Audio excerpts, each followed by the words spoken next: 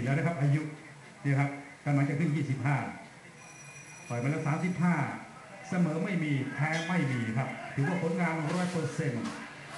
เป็นผู้ท้าชิงครับจากญี่ปุ่นนะครับนักชกจากแดนปลาดิบแดนอาทิตย์อุทัยมายาสุกิวากิโมโตะ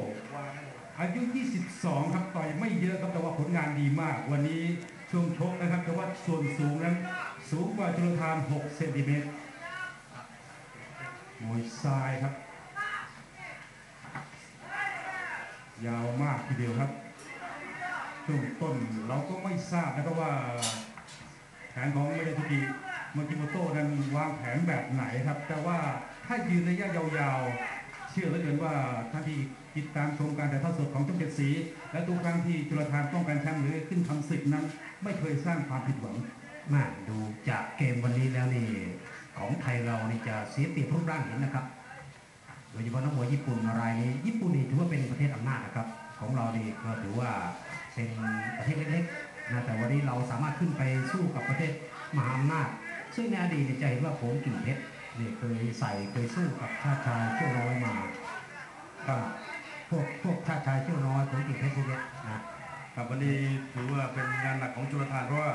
วากิโมโต้นั้นมวยซ้ายนะครับอืมถนัดซ้ายแล้วยังช่วงยาวนุ่มแน่นไปครับซ้ายซ้ายตรงครับ เดี๋ยวลงอยู่ล่างครับ ชมอยู่ที่นี่ หรือชมการถ่ายทอดสดของท่านเจ็ดสีอยู่ที่ใจเย็นๆนะครับ เพราะว่าวันนี้เชื่อว่าเรนเนอร์ของจุลธานนั้นวางแผนไว้เพื่อศึกษาในช่วง 3-4 ยกแรกๆเนี่ยเพราะว่าความเสียเปรียบในช่วงชกส่วนสูง แผนขานั้นดูว่าเราเสียเปรียบชัดเจนนะครับดังนั้นแผนช่วงต้นน่าจะตกเป็นฝ่ายพิจารณามากกว่า นี่นี่เป็นเพียงยกแรกนะครับ หนทางยังอยู่ไกลครับยังอยู่อีกยาวหนึ่งสองเบาๆด้วยความชำนาญแล้วก็ด้วยเอ่อวิสัยทัศน์ที่มองไกลเชื่อว่าชุลธานน่าจะก้าวขึ้นเป็นแชมป์สีลีน่าโดยคุณสวิทย์ศักดาสงสารุรัตน์บริษัททาทามอเตอร์ประเทศไทยจำกัดสดาชามโดยไทยเบสเบเบรดมาร์เก็ตติ้งจำกัดปุ๋ยเจ้าไทยยุบริษัทไทยนครพัฒนาจำกัดโดยคุณวินัยดีรับพุทธชมยกที่สองครับว่ากันต่อครับท่านผู้ชมครับ เป็นกำลังใจให้กับชนละทานแล้วครับ แล้วมาอีกแล้วครับกำลังใจตรงนี้นอกยกไหนเลยครับกำลังเชียร์ครับจากพูดถึงกระดูกแล้วของเราได้เปรียบนะครับ ผ่านการชกมวยไทยมาแล้วก็ถือว่าตอนนี้ครบเครื่องหมดแล้วนะครับยิ่งขวาสายน้ำมรณะครับนี่ชนละทานขยับมานักชกจากญี่ปุ่นรายนี้ดูจากโครงสร้างแล้วน่ากลัวนะ ครับแต่ว่าลำตัวครับลำตัวอาจจะมีปัญหาเมื่อสักครู่นั้นชลทานชิมลางนะครับจิ้มท้องมาดูจังหวะบล็อกหมัดของชลทานครับทำได้เรียนมากอืมดูเกมมาถึงตรงนี้แล้วไม่ใช่ของง่ายไม่ใช่ของที่จะกินเคี้ยวกันแบบสบายๆสำหรับชนลทานนะครับนี่เป็นยกที่สองแล้วครับยังอีกไกลครับหนทางยังอีกยาวเอ่อการป้องกันตำแหน่งคราวนี้ของจุลธานเชื่อว่าความละเอียดรอบคอบสุขุมนั้นผมก็คิดเอาไว้เยอะนะครับอันนี้ ไม่บ่อยครั้งครับเจุลธานเจอคู่ต่อสู้ที่สูงยาวแบบนี้นะครับตัดลำตัวแล้วขึ้นบน สังเกตหมัดหน้านะครับฮุกซ้ายของจุลธานนะครับ พูดถึงมาเลย ยับซ้ายฮุกซ้าย ยังไม่รีบนะครับค่อยพิจารณาดูว่าคุณทัชิงชาวแดนประดิษฐ์โอชิโมโตะนั้นมีจุดไหนครับที่พอจะเจาะได้ เป็นรองแชมป์อันดับ 9 แล้วครับ จากญี่ปุ่น โอ้โห ซ้ายตรงลำตัวแล้วตามด้วยฮุกขวา หมัดสายน้ำครับชลทานบล็อกหมัด โอ้โห ขวาเข้าไปเต็มๆลำตัวครับว่าเห็นเอวบางเหลือเกินครับรูปร่างสูงก็จริงแต่ว่าอื้อหือโดนลำตัวแล้วจะทานไหวหรือเปล่าเอาละครับเจอขวาเราบ้างนะครับระวังซ้ายตรงนะครับซ้ายตรงของ นักทิโมโต้เหมือนทดสอบนะครับนะครับดูเจอทานน่าจะทดสอบดูว่าเมื่อโดนแล้วเป็นอย่างไรนี่เลยครับของเราบ้างคอยสวนด้วยซ้ายตลอดนะครับนักชกกับมืองปาดิบชลทานขยับเดิน มีนับมีน็อกหรือเปล่า ถ้าน็อกรับ 5,000 บาทครับดูครับแต่เอเวอร์ซีอีกสามพันนะครับ แล้วก็จา กสมุนไพรทีซีนิวยาดมเชยเชยสามพันนี่เป็นรางวัลอัดฉีดสำหรับ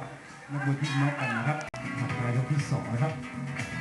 สองมัดสามนี่ขวาตรงนะครับเอาลำตัวแต่ว่าโมจิโมโต้นั้นใช้ศอกมาปิดลำตัวไว้ที่ผู้ให้การสนับสนุนนะครับบริษัทโกมินส์โปรดักต์จำกัดยาดมคุณหลวง มีวิวคองเงินกรมทางหลวงชนบทกรมพัฒนาสังคม และกรมสวัสดิการรวมทั้งบ้านสารฝัน บ้านสวัสดิการที่คุณสามารถเป็นผู้กำหนดราคาซื้อได้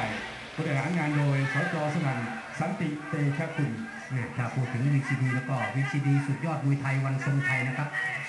ไม่ว่าจะเป็นมวยไหนก็คุณภาพทั้งสิ้นนะครับยกสามนะครับดูว่าสองยกที่ผ่านไปจุลธานน่าจะจับทางของโมทิโมโต้ได้ครับยกนี้เดินเร็วขึ้น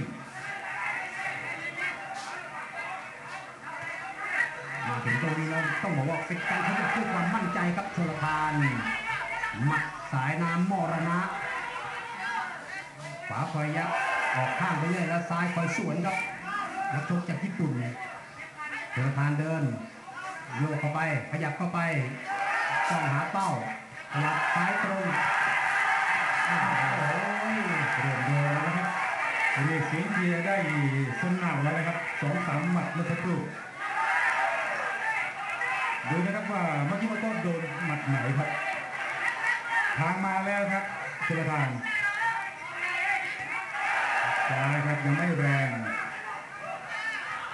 โดนขวาครับแต่ยังเบาอยู่ขวาตรงขวาตรงเอาละครับต้องบอกว่ายังยังหาเป้าที่จะชัดไม่เจอครับแต่ไม่นิ่งครับ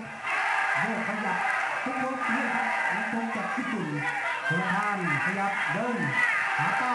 ขวาตรงขยับสวมหมวกกันหมัดเดินอย่างนี้รีบแรกมากแต่ว่าเน้นกับขวาทิ้งจังหวะออกได้ก่อนนะครับจุลธานขวากับซ้ายนี่ถ้าจังหวะดีเข้าล็อกเมื่อไหร่นี่ได้เรื่องครับอ่าดูหมัดเราแน่นกว่าชัดเจนครับคุณชัยทัศน์ครับขวาตรงนั้นทำงานได้ดีนะครับ ในขณะที่ซ้ายตรงของเขาที่มาต้องเป็นขณะที่ค่อนข้างอันตรายเหมือนกันเอาละครับนวดล่างโดนหมัดนี้ลงไม่ลงแล้วครับลงแล้วครับขวาตรงหมัดนี้ทำงานนับแล้วครับสี่ห้าหกเจ็ดแปดสู้ต่อนะครับเจอขวาตรงของเรายกสามกลางยกดูวินาทีทองของทางด้านชละทานขยับ ไม่รีบนะครับไม่รีบดูครับเน้นละเอียดครับ คุณปากครับอ่าแน่นอน เอาหมัดแน่นอนครับ ต่อยแล้วต้องมีนับปีน็อกขยับเจอไปหนึ่งนับครับ ยกสามก็ไม่จำเป็นต้องรีบเลยนะครับมาถึงขนาดนี้ค่อยๆเก็บดีกว่าครับ มีจังหวะสวยๆแล้วแม่ไม่เอาเน้นเลยนะครับหมัดประตูที่ส่งมายิบุโตลงไปนั้นเน้นนะครับ